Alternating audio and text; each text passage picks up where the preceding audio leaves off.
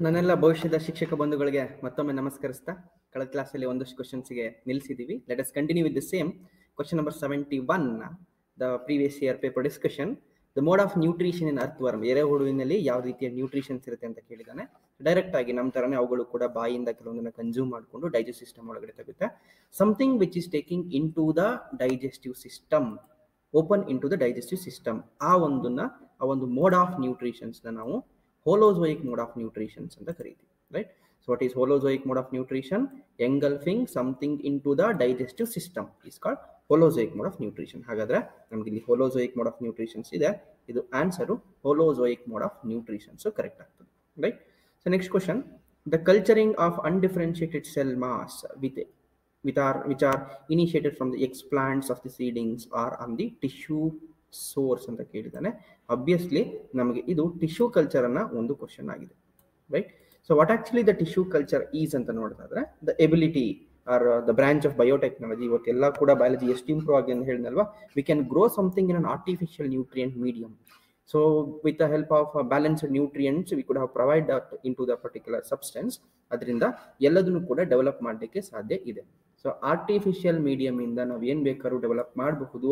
That synthetic medium ಇಂದ ನಾವು plants ಅನ್ನ ಪ್ರೊವೈಡ್ ಮಾಡಿ ಸ್ಟೆರೈಲ್ ಕಂಡೀಷನ್ಸ್ನ ಕ್ರಿಯೇಟ್ ಮಾಡಿ ಡೆವಲಪ್ ಮಾಡಲಿಕ್ಕೆ ಸಾಧ್ಯ ಇದೆ. ಆ ಒಂದು ಮೆಥಡ್ ಅನ್ನ ನಾವು ಟಿಶ್ಯೂ ಕಲ್ಚರ್ ಅಂತ ಕರಿತೀವಿ.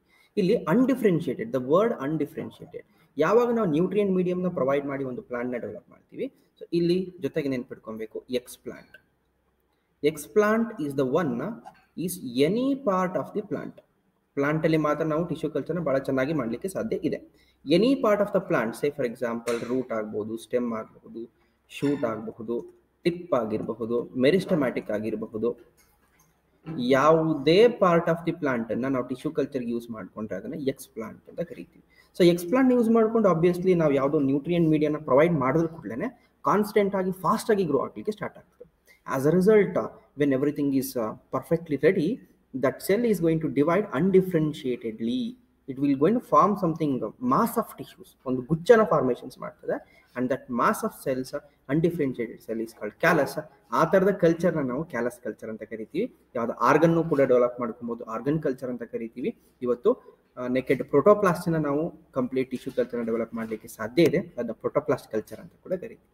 ರೈಟ್ ಸೊ ಅದರಲ್ಲಿ ನಮ್ಮ answer option one will be the correct answer next question the technique which is carried out in order to confirm the presence of foreign DNA ಯಾವುದೋ ಒಂದು ಕಾಯಿಲೆ ಇದೆ ಅಂದಾಗ ಇವತ್ತು ನಾವು ಮೆಡಿಕಲಿ ಅನಲೈಸಿಸ್ ಮಾಡಲಿಕ್ಕೆ ಸಾಧ್ಯ ಇದೆ. And that medical analysis is succeeded with the help of P C R technique so already quick ರಿಕ್ಯೂ review ಮಾಡ್ಕೊಳ್ಲಿಕ್ಕೆ ಸಾಧ್ಯ ಇದೆ. ಕಳೆದ ಕ್ಲಾಸಲ್ಲಿ ನಾವು ಇದನ್ನ ಡಿಸ್ಕಸ್ ಮಾಡಿದ್ವಿ. ಪಿ ಸಿ ಆರ್ ಅಂದರೆ ಪಾಲಿಮರೇಸ್ ಚೈನ್ ರಿಯಾಕ್ಷನ್ ಅಂತ ಕರಿತೀವಿ ಅಲ್ವಾ? ಸೊ ಈ ಪಾಲಿಮರೇಸ್ ಚೈನ್ ರಿಯಾಕ್ಷನ್ಸಿಂದ ನಾವು ಕನ್ಫರ್ಮೇಷನ್ ಕೂಡ ಮಾಡಲಿಕ್ಕೆ ಸಾಧ್ಯ ಇದೆ. ದೊಡ್ಡ ದೊಡ್ಡ ಡೇಂಜರಸ್ ಡಿಸೀಸ್ಗಳನ್ನ ನಾವು ಐಡೆಂಟಿಫೈ ಮಾಡಿ ಡಯಾಗ್ನೈಸ್ ಮಾಡ್ತಕ್ಕಂಥದ್ದಕ್ಕೆ ಒಂದು ಒಳ್ಳೆ platform P C R blotting techniques ಬಗ್ಗೆ ಎಲ್ಲ ಮತ್ತೆ ಫರ್ದರ್ ಕಲಿಯೋಣ. So what is this ELISA ಅಂತ ನೋಡಿದ್ರೆ the abbreviation of ELISA is so that enzyme linked immuno ಒಂದೊಂದೇ ವರ್ಡ್ ನೋಡಿ.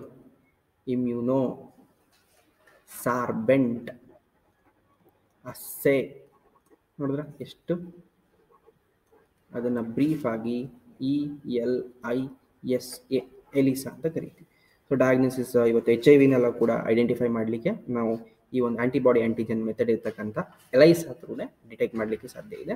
ಇಲ್ಲಿ ಫಾರಿನ್ ಡಿ ಎನ್ ಎಗಳನ್ನ ನಾವು ಪಿ ಸಿ ಆರ್ ನೋಡ್ತೀವಿ. ಸೊ ವೈರಸ್ಗಳನ್ನ ಕೆಲವೊಂದನ್ನು ನಾವು ಎಲೈಸಾ ಮೂಲಕ ಕೂಡ ಡಿಟೆಕ್ಟ್ ಮಾಡ್ತೀವಿ. And question number seventy four when a is expends energy ಯಾವಾಗ ಎನರ್ಜಿನ ಖರ್ಚು ಮಾಡ್ತದೆ, ಎರಡು ಪ್ರಾಸೆಸ್ ಇದೆ. ಒಂದು ಆಕ್ಟಿವ್ ಎನರ್ಜಿ ಖರ್ಚು ಮಾಡಬೇಕಾಗಿದ್ದು, ಇನ್ನೊಂದು ಫ್ರೀ ಅದು ಪ್ಯಾಸಿವ್ ಆಕ್ಟಿವ್ ಅಂದಾಗ energy currency of the cell ಬೇಕು A T P passive it is free ಪುಕ್ಸಟೆ ಬರ್ತದೆ. ರೈಟ್ ಸೊ ಹಾಗಾದರೆ ಎಕ್ಸ್ಪೆನ್ಸ್ ಎನರ್ಜಿ ಅಂದ್ರೆ ಕೂಡಲೇ ಇಲ್ಲಿ ನಾವು ನೋಡಬಹುದು diffusion free facilitated diffusion free osmosis ಕೂಡ ಫ್ರೀ ಆದರೆ ಆಕ್ಟಿವ್ ಟ್ರಾನ್ಸ್ಪೋರ್ಟಿಗೆ ಎನರ್ಜಿಯ ಅವಶ್ಯಕತೆ ಇದೆ. So that active transport is the one which expense energy so without going into the complete questions many a time ನಮಗೆ ಕಾನ್ಸೆಪ್ಷುವಲ್ ಆಗಿ ಕೆಲವೊಂದು ಆನ್ಸರ್ ಮಾಡಲಿಕ್ಕೆ ಸಾಧ್ಯ ಇದೆ. ಒನ್ಸ್ ಕಾನ್ಸೆಪ್ಟ್ಸ್ ತಿಳ್ಕೊಂಡ್ಮೇಲೆ ಎಲ್ಲ ಕಾನ್ಸೆಪ್ಟ್ಸ್ಗಳನ್ನ ನಾನು ಕ್ಲಿಯರ್ ಮಾಡ್ಕೊಡ್ತೀನಿ, ಆ ರೆಸ್ಪಾನ್ಸಿಬಿಲಿಟಿ ನನ್ನ ಮೇಲೆ ಬಿಡಿ. Question number seventy five syphilis is caused by ನೋಡಿ ಕಾಲೆರಾ ಸಿಫಿಲಿಸ್ ಅಲ್ಲ, ಇದು ಒಬ್ರಿಯೋ ಕಾಲೆರಾ ಕಾಣಿಸ್ತಾ ಇದೆ. ನೆಕ್ಸ್ಟ್ ಗೊನೇರಿಯಾ ಇದು ಸಿಫಿಲಿಸ್ ಅಲ್ಲ. ಕ್ಲಾಸ್ಟೋಡಿಯಂ ಬಾಟಿಲಿಕಮ್ ಅನ್ನೋ ಒಂದು ಡಿಸೀಸು ಇದು ಮೂರು ಕೂಡ ಬೇರೆ ಬೇರೆ ಡಿಸೀಸಸ್ಗಳನ್ನ ಕಾಸ್ ಮಾಡ್ತಕ್ಕಂಥ micro organisms then what is the problem ಈ ಕಡೆ go for the question number four which is whatever the answer ಅದಕ್ಕೆ definitely option one two three ಆಗೋದಿಲ್ಲ.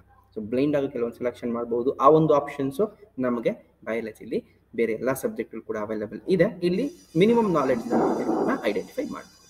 Right so seventy six the special channel found in the plasma membrane they are set to be water ಅಂತ ಇದೆ. Aquaguard ಕೇಳಿದಿರಲ್ಲ water ಅಂದ್ರೆ aqua water channels ಅಂದಾಗ aquaporins ಅಂತ ಕರಿತೀವಿ.